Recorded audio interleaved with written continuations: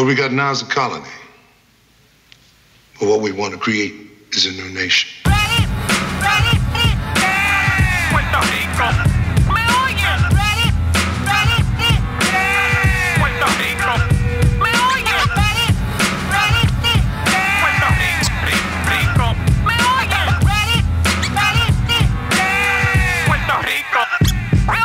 My name is Luis Rosa Perez. I'm a former Puerto Rican political prisoner of war. Uh, I was arrested in 1980 uh, along with 10 other uh, compañeras and compañeros, comrades, and accused of being members of the Armed Forces for National Liberation, the FALN, uh, a clandestine political organization that sought the independence of Puerto Rico.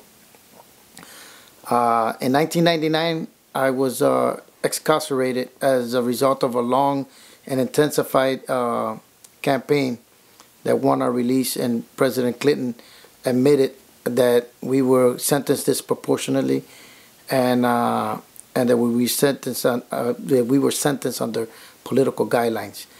Uh, this campaign uh, was not only that not only unified different sectors of the Puerto Rican society, but also in the United States other religious sectors uh, uh, and social political organizations. And even internationally. And internationally with uh, over 15 Nobel Peace Prize winners that joined the wow. campaign. And they, they joined the campaign for you guys to get out. Right, correct. And uh, how many over there were you that got out? At, in 1999, uh, 11 of us were released. Uh, there was, and three, three stood. Uh, and these was from two different groups uh, because apart from the FLN 1985, there was also uh, from one of the clandestine organizations in Puerto Rico, uh, the Macheteros.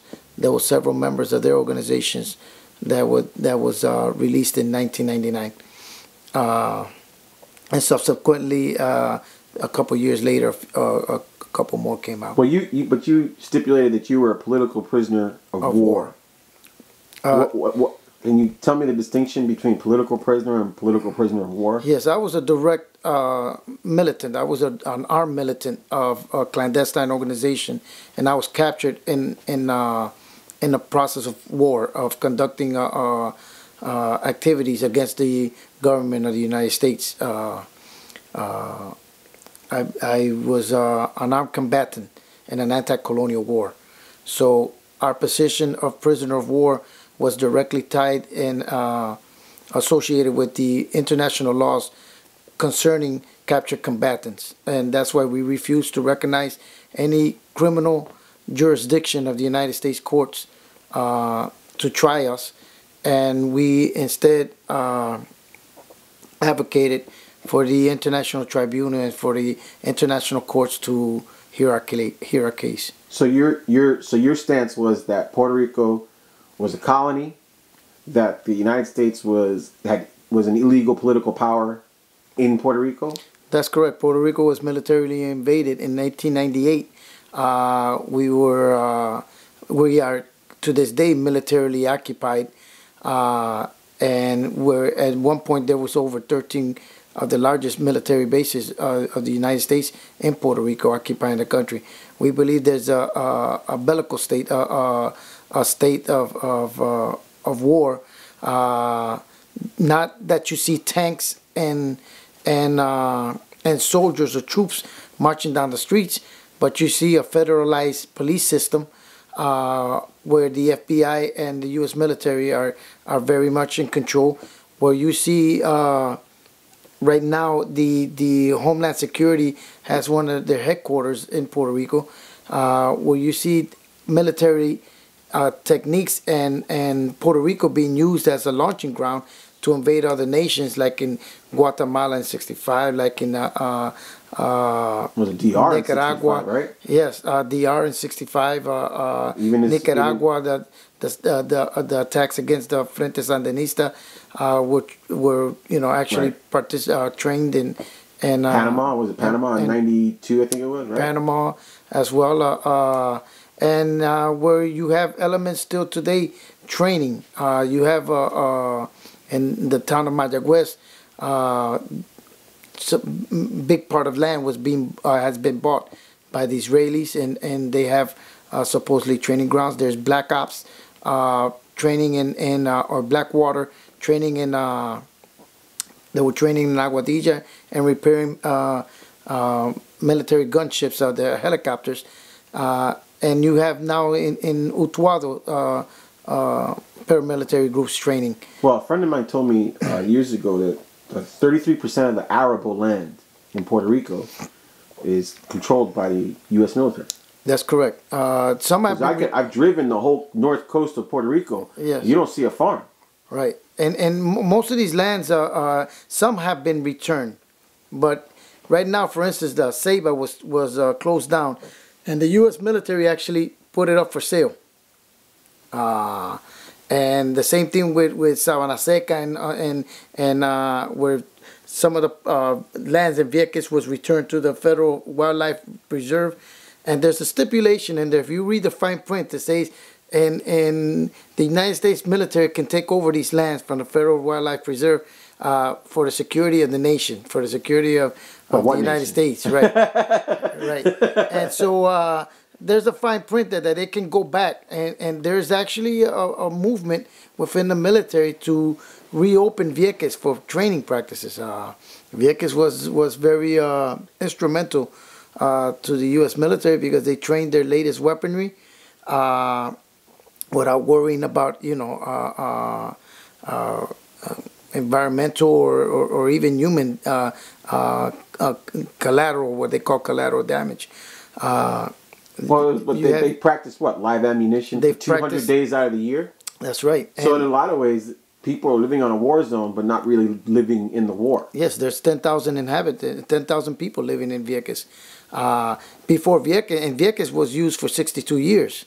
Uh, before Vieques, you had the Desecheo that was used for 42 years. Uh, and before the Desecheo, I mean, uh, Culebra. And then before Culebra, you had the Desecheo used for 24 years. So, the, you know, uh, the island of Puerto Rico and, and their, their, the smaller islands, uh, have been used for, for live ammunition practices, have been rented out to other countries. Uh, up till recently, you had in the internet you can find a, a, a an uh, advertisement saying that you can practice your latest weaponry on the island of Vieques. Wow. So these are things that motivated uh, us to participate in in in uh, in armed revolutionary uh, movement and clandestine uh, revolutionary movements, and and that have uh, even before us, the people who came before us to participate. Uh, How much time did you do in prison? I did 19 years and few months in, uh, and I don't know how many days. I didn't keep that much of accurate count, but I was arrested April 4th, 1980, and uh, I came out uh, September 10th, 1999.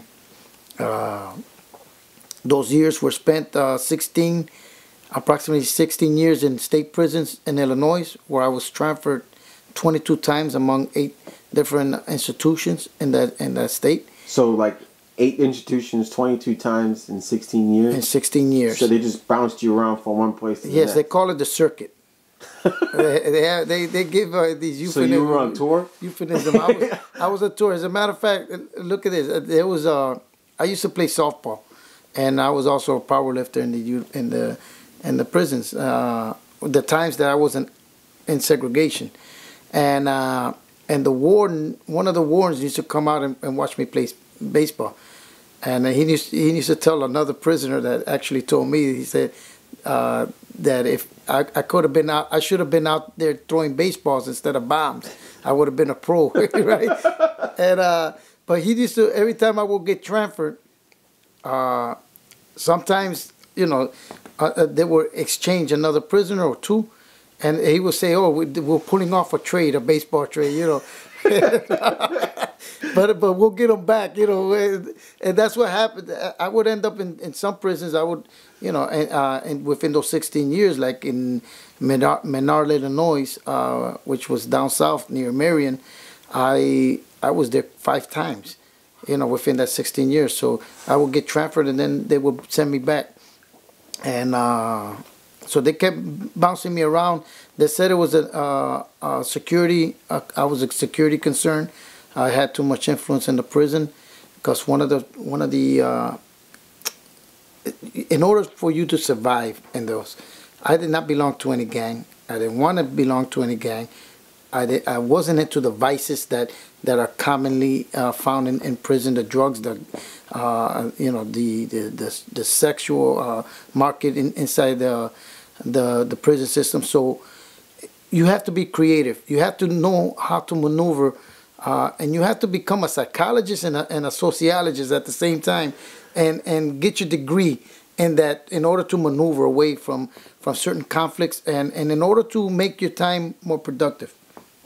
Uh, Malcolm X said that uh, that the, the prison became his university, and that's what we wanted to do. We wanted to create uh, uh, the the prisons into another uh, what we call a trinchera or a trench, another you know another base of operation, right? A base of work, not necessarily to recruit people, but to to maintain uh, that line, that discipline uh, that we had as, a, as a movement and, and as a as combatants.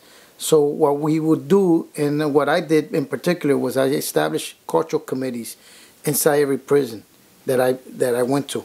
The purpose of these cultural committees was to present the prison population that was divided into gangs, especially the Latin American community, uh, that were divided into two main sectors, uh, gangs that were in conflict. Present them with a with a neutral ground, something that they can have in common, uh, something where they can celebrate their particular uh, historical holidays, like the Cinco de Mayo for the Mexicans, like a Grito de Lares for the Puerto Ricans, like a, a, a Grito Yara for the, for, for the Cubans. So we presented the, the community, the prison community, with with a, with a, an alternative, and and we it functioned. It functioned real well. When, when some prisons we we call it the Latin American Cultural Committee, and others we call it the Hispanic Cultural Exchange Committee. We will find names that that was suitable, that was soft for the administration to accept uh, as well. And we would do activities, and we would uh, we would have our own food sometime uh, and, and celebrate our culture. Un pueblo que está sometido a todo lo que hemos estado sometidos nosotros tiene que estar preparado para ejercer su derecho de la forma que sea y si es la lucha armada, es la lucha armada.